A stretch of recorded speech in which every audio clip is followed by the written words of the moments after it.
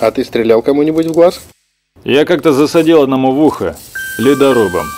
По самой гланды. Да, но это уже совсем другая тема. Это же уши.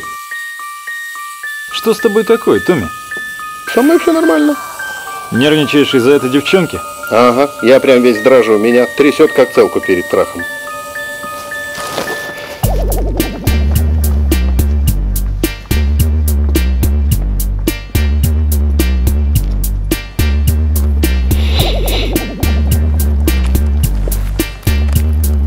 И напоследок босс сказал мне, он сказал Томми, когда я впервые заглянул в глаза Энджелы, то сразу понял, это любовь. И я по уши в дерьме.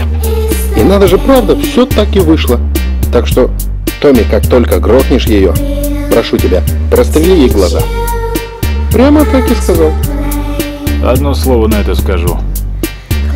Жесткач. Я два слова скажу. Еще какой. А я четыре слова скажу. Ты, мать твою, прав. На Кубе у палачей было такое устройство.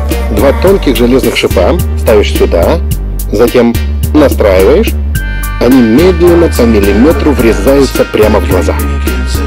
Ты не гонишь? Коммунисты паскуды. Ну, вообще-то нет.